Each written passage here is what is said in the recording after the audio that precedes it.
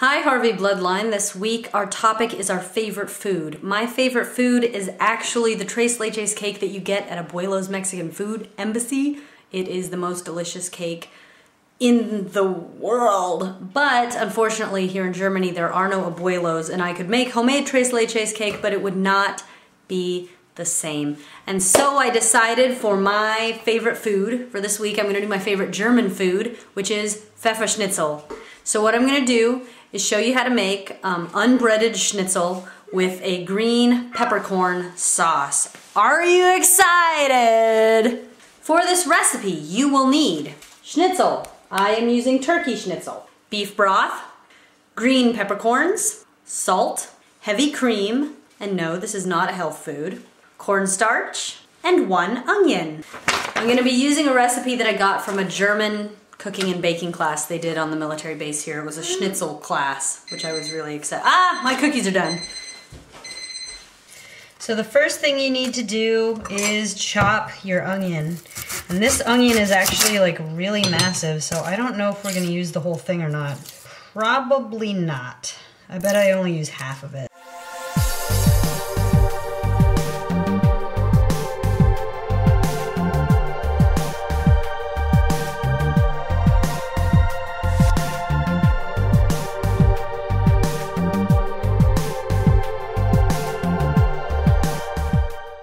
So when you're all done chopping your onion, it should be very finely chopped. Nice tiny little pieces because this is going in the sauce. So the onion is all chopped and now I'm going to go ahead and heat up about a tablespoon of oil in my saucepan here and this is what we're gonna make the sauce in. And we're not gonna start the schnitzel just yet. We're gonna get the sauce completely done and then we're gonna just keep it warm.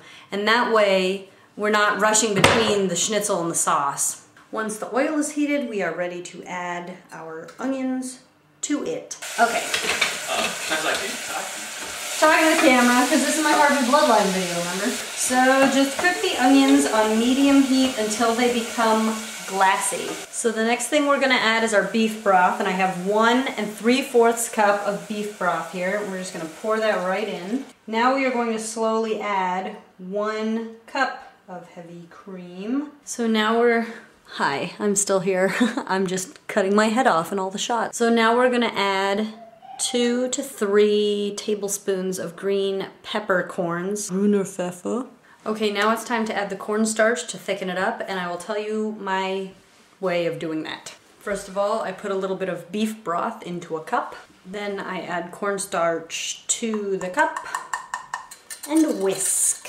Whiskey, whiskey, whisk. When it is all combined and there are no chunks, you may add it to the thing on the stove. Okay, so I have been cooking it on medium heat and now I'm gonna pump it up to just medium high. Not super high, just medium high, just to get it simmering a little bit so that the cornstarch will thicken it. Okay, while I'm finishing up the sauce, because the sauce is pretty much done, it just needs to get a little bit thicker. While I'm doing that, I am heating up a couple of tablespoons of oil in my big fry pan because it's about time to start the schnitzel. Schnitzel, schnitzel. So, we're gonna prep our schnitzel workstation. Um, there's a couple of things that you're gonna need, especially if you can't get actual schnitzel cuts of meat. I'm using turkey schnitzel, and it actually is turkey schnitzel, like it's, it's cut in a schnitzel cut. But you can also use turkey cutlets, and traditionally schnitzel is pork, so you can use pork cutlets. Um, but the key is to get it the right thickness, which is not very thick at all. So we're gonna use plastic wrap. And what I do is I take a nice sheet of it and I lay it over top of my cutting board.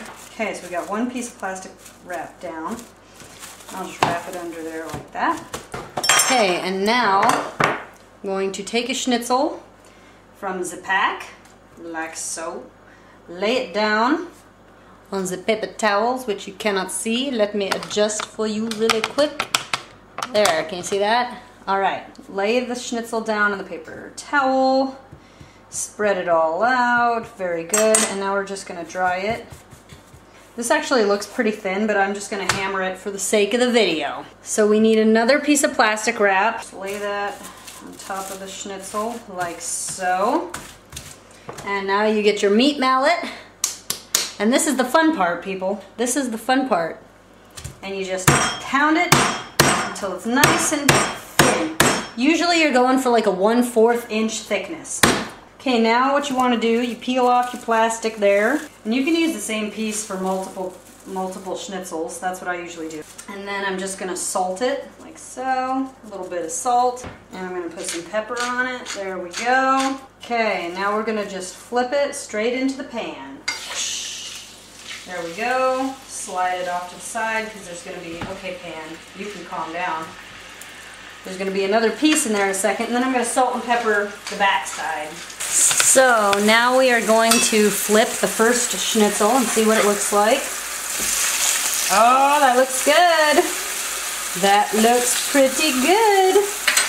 So as I finish each piece of schnitzel, I put it on a paper towel covered plate to drain some of the oil, some of the grease. Tonight with our schnitzel, we are going to have pickled red cabbage, which is very popular here in Germany, and also quite delicious. And we are also going to have frozen croquettes.